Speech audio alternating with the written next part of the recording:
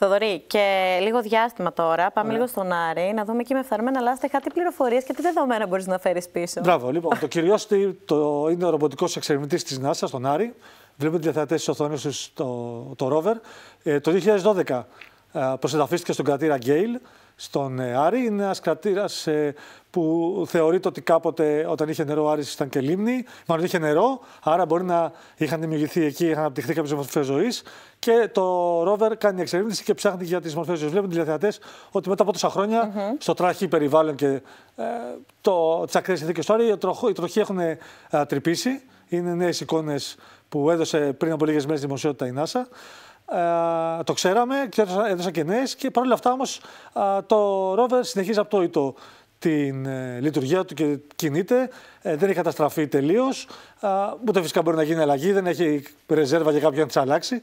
Ε, και συνεχίζει με, τη, με την τρυπημένη ρόδα. Έτσι, ε, ε, είναι μια, πώς το πω, ένα επίτευγμα του ανθρώπου από τα καλά που λέμε, πολλές φορές λέμε κακές ειδήσεις, πως έχουμε στείλει στον Άρη ένα ρομπότ που λειτουργεί εδώ και ολόκληρα χρόνια και μπορεί και σε και λειτουργεί με φθορές.